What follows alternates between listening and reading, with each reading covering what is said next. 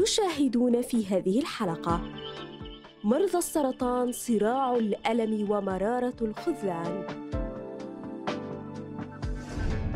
مسرحيون في عدن يستذكرون تجربتهم الأولى في المسرح التفاعلي. فرج العامري موهبة شعرية على خطى محمد إقبال.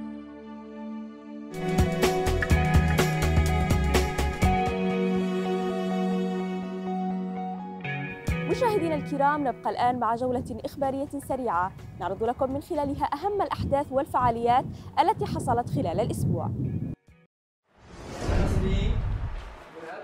أشهر في العاصمة المؤقتة تكتل حقوقي جديد للعمل من أجل تحقيق المصلحة العامة لمدينة عدن والدفاع عن حقوق أبنائها. وحمل التكتل الجديد مسمى نشطاء أبناء عدن ويهدف كما جاء في ميثاقه إلى الحفاظ على الهوية العدنية وإعادة الاعتبار لتاريخ المدينة التي اتسمت منذ القدم بالتعايش السلمي. كرم المجلس الشعبي في مديرية التواه بعدن عددا من الشخصيات والنخب الوطنية والوجهات الاجتماعية الفاعلة. وخلال حفل التكريم أكدت السلطة المحلية في المديرية على أهمية إقامة مثل هذه الفعاليات التكريمية للكوادر الوطنية التي كان لها بصمات واضحة وجلية في تقديم الخدمات المختلفة للمواطنين ومعالجة القضايا المجتمعية. تلقى عشرون طبيبا في العاصمة المؤقتة عدن مهارات تدريبية حول التشخيص الطبي لأمراض السل والجذام والسبل الوقاية منه واستراتيجية مكافحته. الدورة نفذت وعلى مدى يومين بتمويل من منظمة جلارا الألمانية ضمن مشروع دعم وتعزيز وتقوية النظم العلاجية الوقائية لأمراض السل والجذام. ويستهدف محافظات عدن وحضرموت والضالع وتعز أعلن مركز علاج الإسهالة المائية الحادة بمستشفى صلاح الدين في البريقة عن 28 حالة إصابة جديدة بوباء الكوليرا بينهم سبعة أطفال خلال الأسبوع الماضي. وأطلق المركز نداء استغاثة إلى منظمة الصحة العالمية والجهات المعنية بالتدخل العاجل لدعمه بالاحتياجات الضرورية اللازمة. السرطان مرض يعد من أخطر أمراض العصر وبينما الطب آخذ في إيجاد علاج لهذا المرض يعاني المريض اليمني من العلاج الباهظ الثمن وعدم توفره. لنتابع. لا يكاد يمر يوما على مرضى السرطان إلا ويضاف إليه جرع جديدة من الألم والخذلان لهذه الشريحة التي تصارع مرضا تفنى معه أعمارهم بحثا عن الشفاء. الأرقام طبعا في تزايد ما بعد فترة الحرب 2015 وما قبل فترة الحرب أن العدد يمكن مضاعف عما كان في السابق. طبعا شيء بديهي مسلم به أن نتيجة الحروب ونتيجة انه هناك ما زالت مناطق آه، تعيش في منطقة تماس وما زالت الحروب فيها مما يؤثر سلبا طبعا على الناس المتواجدة في هذه المناطق. قد يكون كمان البيئة الآن اللي إحنا فيها بسبب الحروب الملوثات البيئية هي اللي أدت إلى آه، عملية اللي هي زيادة أعداد المرضى. نحو سبعة آلاف حالة إصابة بالسرطان و120 حالة جديدة تتردد أسبوعيا على مركز الأورام في عدن بينهم نساء وأطفال في ظل شحة الإمكانات وتراجع الدعم وغياب الاهتمام. الآن ما اكتشفوش سبب أساسي للسرطانات. سرطان الثدي يعتبر ثاني أكثر انتشار سرطان يعني ثاني أكثر انتشار في العالم.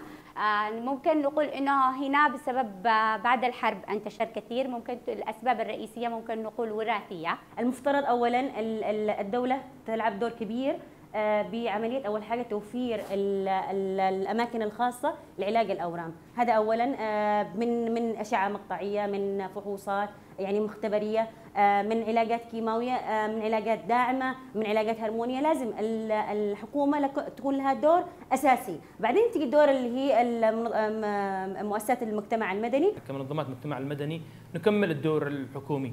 ولا نستطيع يقصد محاصرة هذا المرض أو المرضى أن نوافيهم حقوق. لكن بقدر المستطاع نحاول أن نغلق هذا الباب باب مرض السرطان بشتى الأمور. أرقام مخيفة لمرض السرطان في اليمن. سجلتها السنوات الأخيرة دون أي تحرك جاد لتقييم النتائج ومعرفة الأسباب. للحد من توسع المرض الذي يفتك سنويا بحياة الآلاف. تطور العلم إلا أنه ما زال المريض آه، يجهل يجهل الاسباب اللي هي أو الأسباب اللي مؤدية. في بعض الأحيان الشخص يعمل آه، حاجات اعتيادية يوميا آه، هو مش واخد باله إنه هذه الحاجة ممكن تؤديه إلى مرض السرطان. الكشف المبكر هو أحد أسباب العوامل الرئيسية لملاحقة أو لتفادي هذا المرض أو لسرعة القضاء عليه لأنه مرض السرطان يمكن القضاء عليه في حالة اكتشافه مبكرا لكن عدم وجود الكشف المبكر هذا يؤدي إلى انتشار المرض وكشفه مؤخرا ويتم ملاحقته فقط عبر العلاجات المؤقتة هذه التي بس تزيد من فترة المرض ولا ولا ولا تقضي عليه قضاء نهائيا. إن أثبت أن كان هناك في ورم أو كتلة غير طبيعية تقوم بالإحالة، يبدأ الدور الثاني للعيادة الذي تقدمه الوردية هنا للمرضى. اللي هي الإحالة إن طبيب الأورام أو أطباء الجراحة وتستمر معها في الدعم النفسي للمريض ولأسرته.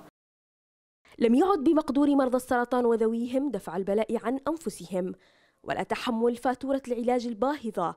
فقدوا الأمل بالتشافي بعد أن عجزوا عن تأمين أبسط جرعات الدواء للمرض الذي تطول فترة علاجه لسنوات. المريض يشكي. ما فيش آه، علاجات داعمة ياخذها من برا ما فيش علاجات كيماوية يضطر يشتريها من برا وأنتم عارفين كم الآن سعر العلاجات الكيماوية. بعضها يوصل إلى سعر 70000 إلى 60000 وبعضها إلى 10000 نصرفها بشكل مجاني وهذا المشروع سيستمر معنا ستة اشهر طبعا آه، لا نقول إن إحنا بهذا الأمر يعني نوفر علاجات بشكل كامل. ولكن الغالب حتى لا يضطر المريض إلى شرائها من المراكز الخاصة بأسعار باهظة جدا. نرحب بالدكتور سعيد نعمان أخصائي آه، علاج الأورام ومدير إدارة العلاج بالإشعاع في المركز الوطني في مستشفى الصداقة أهلا ومرحبا بك اليوم دكتور معنا. دكتور بداية لو تحدثونا عن إدارة العلاج بالإشعاع في المركز الوطني.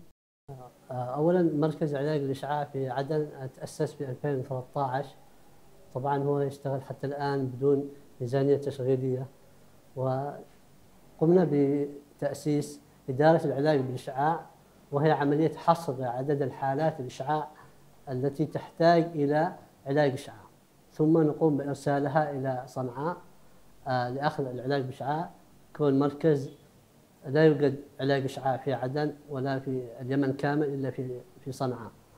فنحن الآن آه، إن شاء الله نسعى إلى عمل مركز علاج إشعاع في عدن إن شاء الله.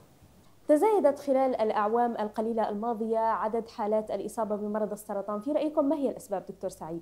والله أنت عارفة أنه نحن في وضع حرب وضع غير طبيعي. فهناك مبيدات حشرية ومبيدات اللي تستخدم في الزراعة. بعضها لا تستخدم آه، يعني للحيوانات. عدم وجود الرقابة الآن أدى إلى إنه الأمور كثرت عدد الحالات. ما فيش رقابة حكومية ما فيش رقابة آه، أخلاقية ما فيش آه، رقابة دينية.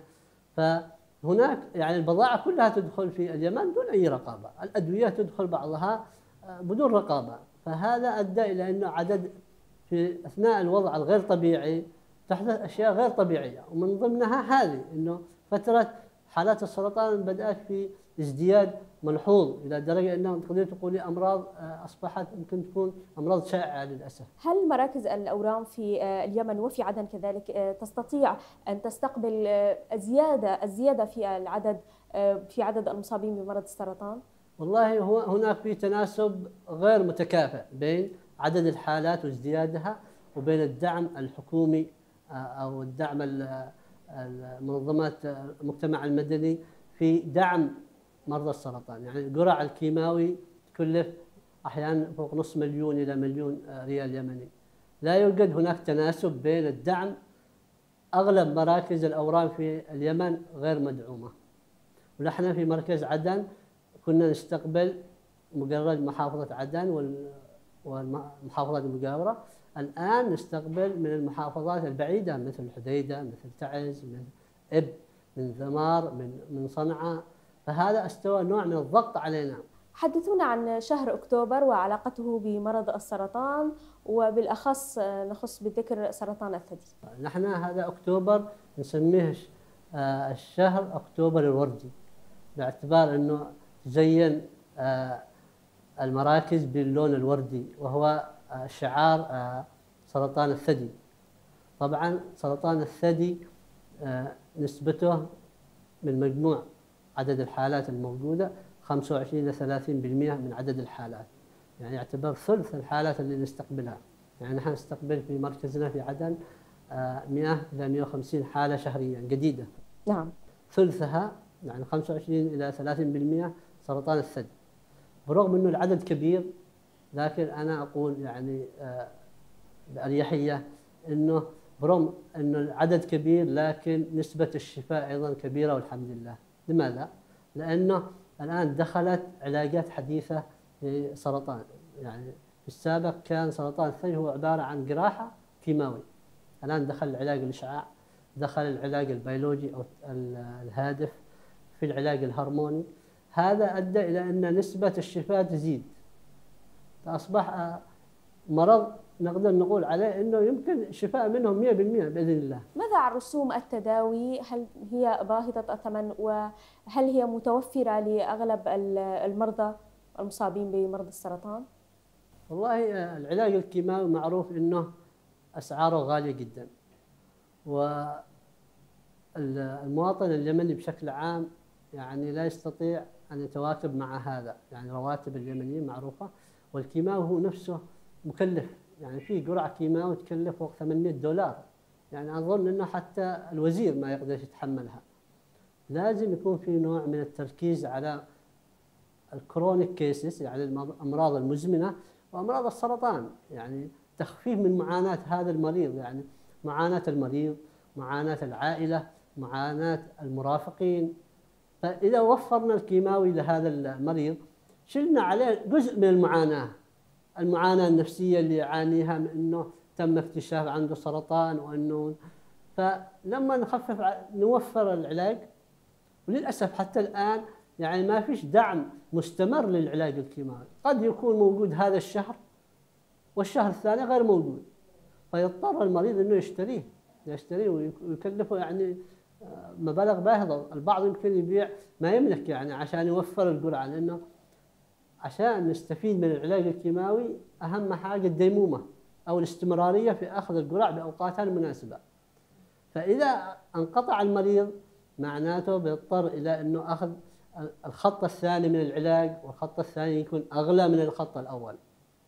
فبقدر الإمكان يعني نحاول نوفر للمريض يعني في بعض المرافق اللي تساعدنا وتدعمنا بس بدعم أيضا عليها ضغوط هي يعني بعض بعض التجار يساعدوا فيه بس مش بشكل مستمر السرطان لازم الدولة تتبناه تتبنى هذا المجال بصراحة لأنه أصبح عدد الحالات يعني لا يستهان به ما هي أبرز التحديات والصعوبات التي تواجهها اليوم إدارة العلاج بالإشعاع وكذلك آه، الطاقم الطبي الخاص بها؟ هو المركز بشكل عام يعاني أنه الطاقم اللي عندنا والله يشتغلوا بقلوب صافية ويشتغلوا بقلوب يعني رحيمة جدا. يعني لما يكون الممرض راتبه 15000 من بيشتغل معك ب 15000 ريال يعني؟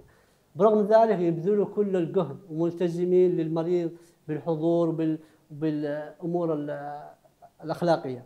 ولكن نحن زي ما يعني قلت إنه لا نشتغل بدون ميزانية تشغيلية وهذا يعمل عبء على الطاقم لأن هذا الطاقم أيضا له أسرة وله يعني آه، أمور لازم يوفرها لأسرته.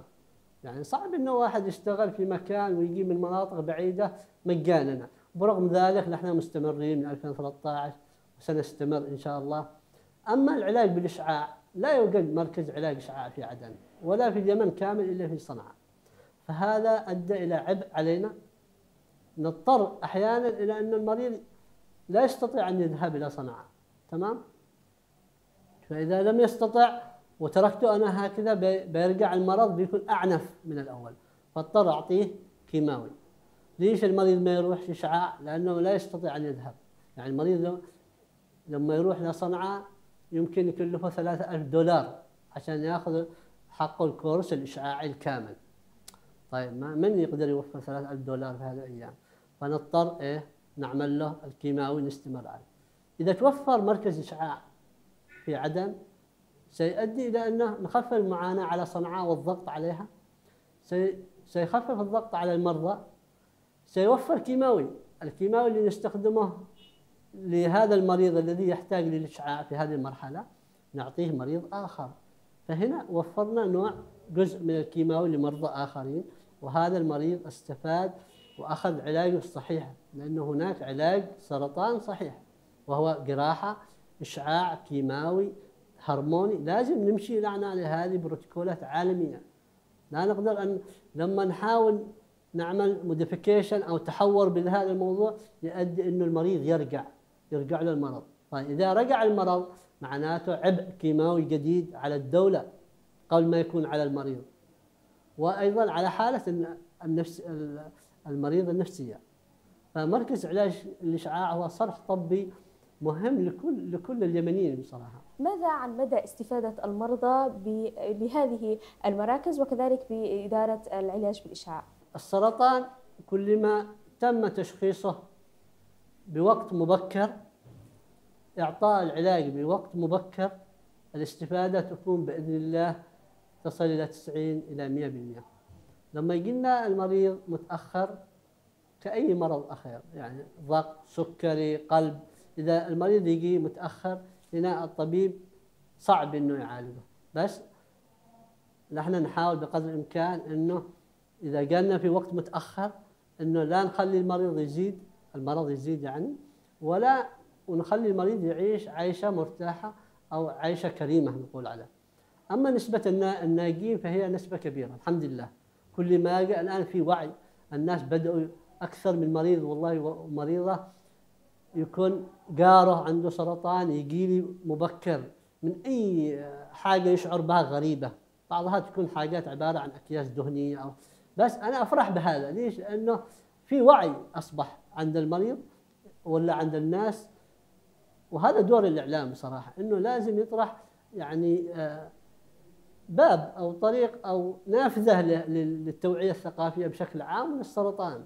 عشان الناس والأطباء ياخذوا بالهم إنه هذا المريض لازم يروح أقل شيء يتأكد إنه هل أنا عندي سرطان أو ما عندي سرطان فلما نشخص بسرعة نسبة النجاح تكون يعني ممتازة جدا. هل تحظى إدارة العلاج بالإشعاع بالإهتمام والدعم الدولي ومن منظمات وكذلك الرسمي وكيف يسخر هذا الدعم؟ والله حاليا مركز قلت لك نحن مش مركز علاج إشعاع ولكن في إدارة العلاج بالإشعاع نحن نعمل عملية إحصاء للحالات ونقرر لها هل هذا المريض يحتاج إلى علاج إشعاع أو ما يحتاج. بعدين نرسله إلى صنعاء أو إلى أي مكان يريده بس نقرر إنه هذا المريض يحتاج إشعاع عشان ما يروح يخسر الفلوس آه، وبعدين يرجع إنه ما يحتاج إشعاع. نحن مسألة يعني مرحلة إحصاء. طيب نحن الآن يعني منسقين مع وزارة الصحة مع الهلال التركي مع عدة منظمات الصحة العالمية في إنشاء مركز علاج الاشعاع وقد حددنا المكان اللي سيبنى فيه وإن شاء الله الأمور جارية. ولكن بعض العراقيل تعرفي إنه في أوضاع تتغير فيستوي نوع من التأخير. لكن الأمور إن شاء الله جارية وخلال سنة أو سنتين بالكثير بيكون في في حاجة اسمها اشعاع بعدين. اليوم ما هي الاحتياجات الضرورية والعاجلة لإدارة العلاج بالإشعاع حتى يتحول من آه، إدارة إلى مركز وإضافة إلى الأشياء التي ذكرتموها. يعني هو نحن نحتاج إلى الدعم المباشر وتبني الدولة. يعني تبنيها هم الآن الوزير ما يقصر والله ويحث جميع المنظمات بدعمها ولكن التبني لازم يكون بشكل أقوى عشان الآن المريض يروح يسافر إلى خارج اليمن عشان يأخذ علاج إشعاع. يعني يخسر فوق 20 إلى 30 ألف دولار عشان يأخذ علاج إشعاع في الأردن أو في الهند أو في مصر.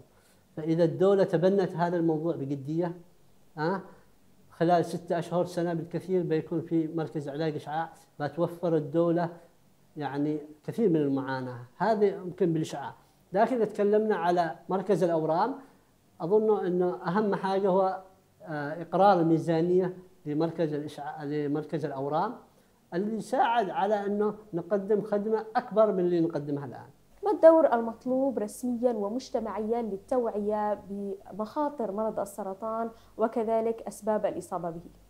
والله كما قلت آه، سابقا أنه تفعيل الثقافة أو الوعي الثقافي وطرح باب الزامي لكل القنوات ولو حتى ربع ساعة أو نصف ساعة. إلزامي إلزامي للقنوات الحكومية والخاصة إنه لازم مرة بالأسبوع مرة بالشهر لازم إلزام للتثقيف الناس بالسرطان والكشف المبكر عن السرطان والذهاب إلى مناطق أو أماكن الكشف المبكر على السرطان. هذا بيساعدنا نحن كأطباء إنه نشخص سريع يساعد المريض إنه آه، علاجه يكون أقل تكلفة. لما يأتينا المريض متأخر التكلفة تزيد على المريض وعلى المركز وعلى الدولة. فتفعيل الدور الثقافي والتوعية الثقافية في في الطبية في القنوات والصحف والإذاعات بيساعد إنه آه، الناس الآن شوفي في العالم يخسروا الملايين على الدعاية عشان يوفروا يعني عشان ما يخسروا أكثر. فبرع يعني في في في الخارج يبذلوا جهد على التوعية بالسرطان والشغلات لأنهم عارفين إنه هذا الشخص المواطن العامل المنتج إذا أصيب بالسرطان بيكلفهم ملايين الدولارات. فهم خايفين على المواطن لأنه عارفين إنه بيخسروا إلزاما انه في تأمين صحي إلزام بيخسروا عليه. فهم لذلك يعملوا توعية عشان يبروا ذمتهم وإذا المواطن جاء متأخر يلوموه هم إنه نحن عملنا توعية وأنت ما جيتش فالتوعية ثم التوعية والوقاية خير من العلاج. ختام الدكتور سعيد هل ثمة رسالة تودون قولها من خلال هذا اللقاء؟ اولا وأخيرا أشكركم على هذه الاستضافة اللي كانت ما وتسليط الضوء على مركز الأورام وأدعو بصراحة إلى منظمات المجتمع المدني والحكومة إلى زيارة مركز الأورام ورؤية معاناة المرضى قبل أن يروا معاناة الموظفين يشوفوا معاناة المرضى. يعني أحيانا نحن يتعطل علينا الأسانسير المريض يضطر حمله بال يعني بالستريتش. فيعني لازم يوفروا للمريض الراحة الإنسانية. نشتي المريض حقنا يعيش كإنسان يعني بصراحة. فنشتي لفتة يعني لفتة. ورسالتك للمجتمع أيضا. والله أنا أقول لهم إنهم لا تقلقوا من السرطان. السرطان أصبح مرض يعني يمكن علاجه والشفاء منه بإذن الله. ولكن التبكير وعدم الخوف لأن أغلب المرضى أول ما يتم اكتشاف المرض يعيش في حالة قلق ويجي لنا بعد سنة من أخذ العينة. ويكون قد انتشر المرض. لأنه في تردد نوع من التردد. لكن لما يجي يشوف عدد الحالات اللي استجابت هنا آه، نسبة الشفاء بتزيد فأنا أدعوهم انه لا يقلقوا والأعمار بيد الله ونحن أسباب والله الشافي. ولكن لما يأتي مبكرا شفاء يعني تشخيص مبكر علاج مبكر شفاء بإذن الله. الدكتور سعيد نعمان أخصائي علاج الأورام السرطانية ومدير إدارة العلاج بالإشعاع في المركز الوطني في مشفى صداقة. شكرا جزيلا لك على هذا اللقاء.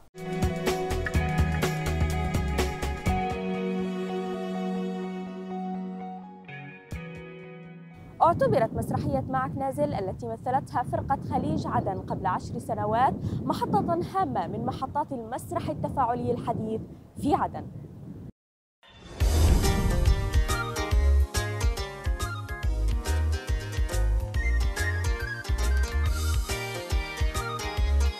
كذاكرة جمعية تستعيد عدن مسيرتها الفنية الممتدة في أعماق الزمن. لتروي للأجيال قصة الصمود حتى في أصعب الظروف. صباح الخير يا عدن يا عدن صح النوم يا كسلان. صح النوم يا كسلان. صح النوم يلا يا ناس. يلا يلا يلا يلا. صح النوم يكفي خلص صح النوم والحق والباص صورة واقعية تعالت عدن على آلامها وجراحها لتعيد من جديد بريقها كثغر باسم لا يعرف العبوس.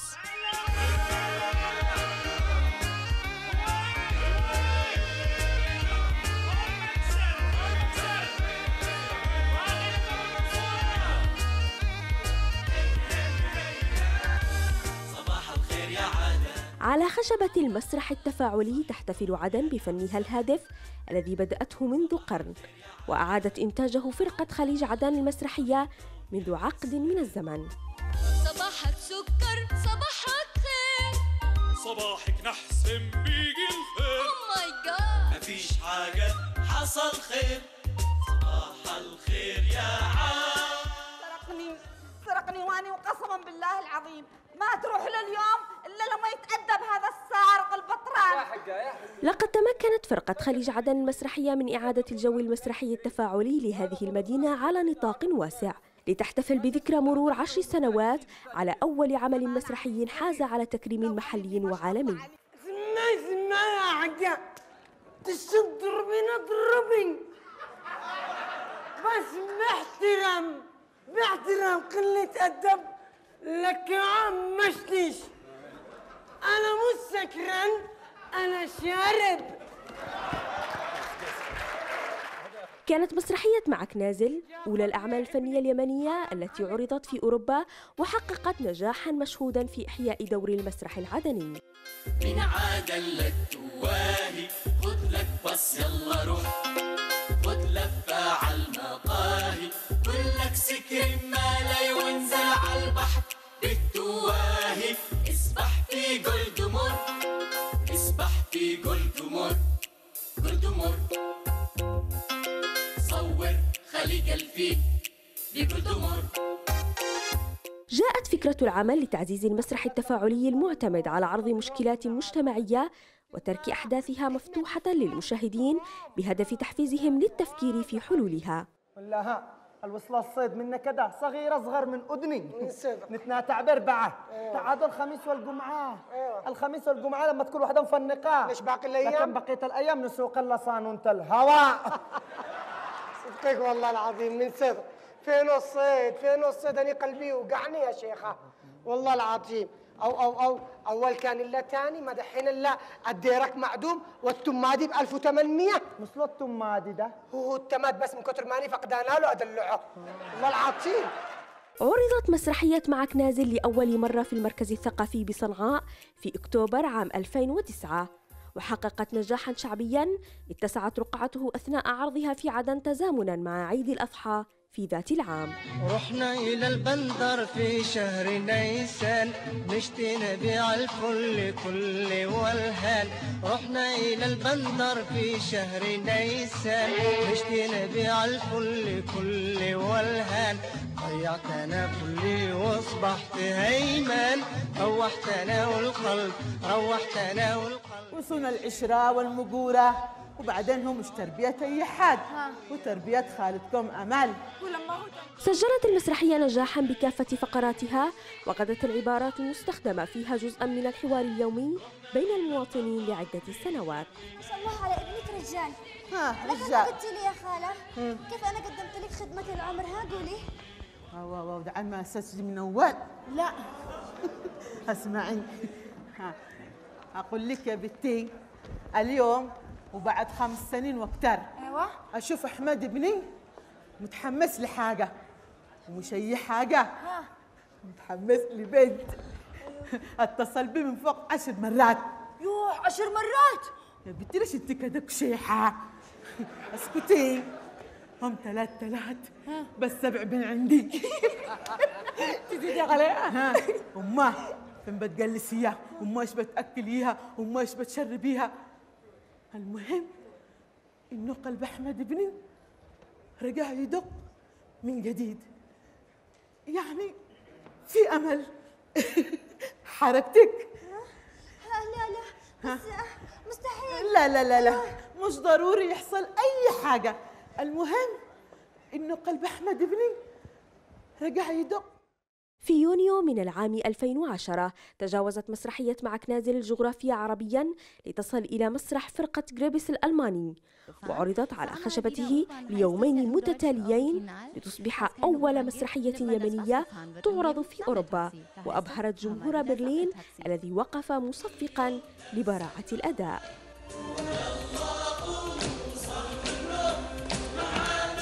Mark Nasel heißt das Stück in der jemenitischen Fassung, das heißt übersetzt so viel wie aussteigen bitte. Das sagt man, wenn man im Sammeltaxi sitzt und gerne مسرحية معك نازل مستوحاة من المسرحية الغنائية الألمانية الخط رقم واحد وتم تحويلها باسم معك نازل لتناسب البيئة المحلية في عدن وأرجاء الوطن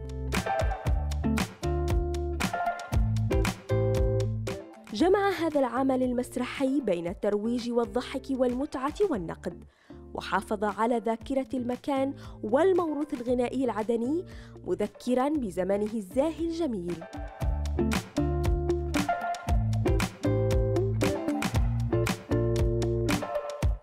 عشر سنوات مرت على أول عرض مسرحي لمعك نازل النابض أحداثه بالحياة اليمنية وما تزال موسيقاه وعباراته عالقة في ذاكرة اليمنيين وتلامس واقعهم المرير.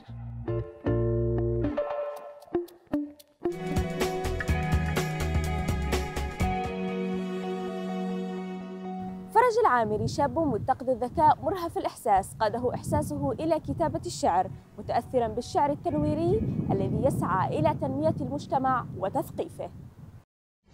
نار في القلوب سعيرة يكفي الضلوع لهيبها الحراق ولقد كتبت مشاعري في دفتري فإذا قد احترقت بها الأوراق وبكت حروف مشاعري فتبعثرت وبكى فرج طه العامري شاب متوقد الذهن مرهف الإحساس يمتلك موهبة شعرية ورغبة كبيرة للقراءة والإطلاع وإيمانا راسخا بأهمية الشعر ورسالته الهادفة في صناعة الوعي.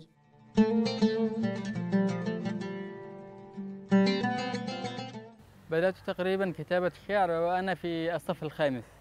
تقريبا عمري ما يقارب عشر سنين. وكان الدافع الذي دفعني إلى كتابة الشعر هو أخي ياسين الذي اكتشف هذا الموهبة. آه، فقرر دفعي إلى آه، إلى كتابة الشعر عبر أولا آه، الاطلاع والقراءة. ثم بعد ذلك بدأت مواهب الشعر تنمو تنمو تدريجيا. وكل ذلك يتم تغذية الشعر عبر القراءة والكتابة والانكباب على أمهات آه، كتب الشعر. والحمد لله الآن لا زلت في مواصلة آه، كتابة الشعر. وأصلا الشعر هذا يأتي من الله تعالى موهبة وليس كما يظن البعض أنه تعليم.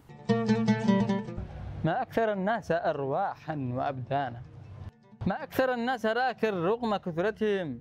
تأثر فرج العامري بالشعراء القدامى لكنه بدأ أكثر تأثرا بالشاعر محمد إقبال الهندي الجنسية والعربي الأصل لاهتمامه بالشعر التنويري الذي يسعى إلى تثقيف وتنمية المجتمع.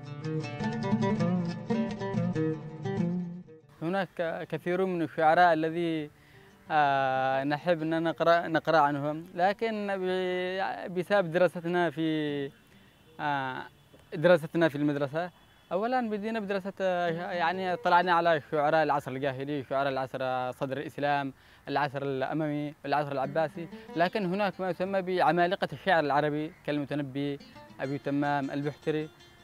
لكن صراحة أنا عن نفسي شخصيا أجد أن الشاعر محمد إقبال الشاعر والفيلسوف الهندي والعربي من حيث الهواية والإن يعني أكثر من أثر في شعره من خلال شعره الذي يهتم بالأفكار والتنوير والثقافة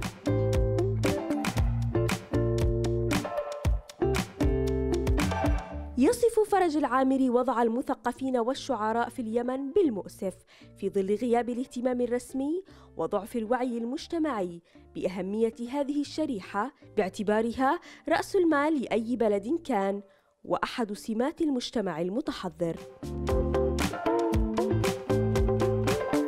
في ظل تدهور الأوضاع الأمنية أصبح المثقفين آه، لا يجدون من يأخذ بأيديهم من أجل تنمية مواهبهم اكتشاف ذا- ذاتهم الآن مث- مثلا لو ذهبنا إلى الحراقي سوق العمال سنجد الكثير هناك ما بين شاعر رسام موهوب مبدع لكن ماذا يفعل؟ يعني ليس هناك لا مهرجانات ولا ندوات ولا مسابقات ثقافية حتى يتمكن هذا الشخص من آه، إبداء موهبته.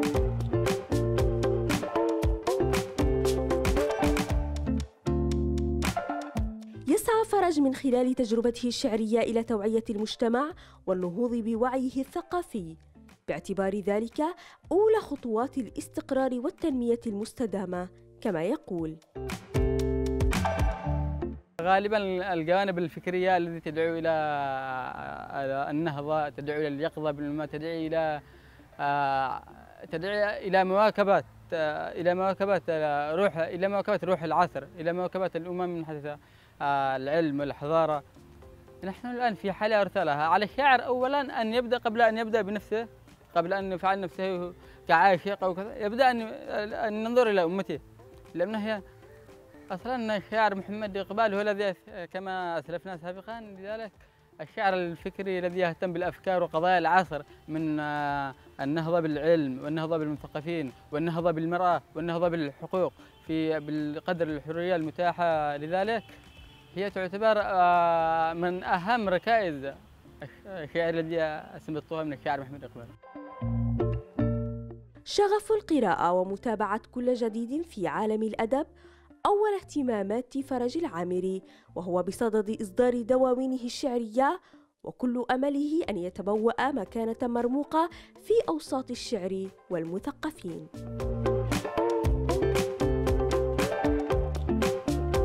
الانكباب على قراءة الشعراء. حتى يستفيد حتى يمكن لنا أن نستفيد من هذه نستلهم منهم أفكارهم نستلهم منهم آه، أبياتهم معلوماتهم بطريقة مختصرة. أنا الآن بصدد آه، إكمال آه، بعض دواوين الشعرية.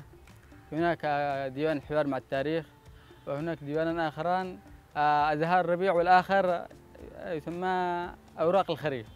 الآن بصدد التنسيق فيما بينهم.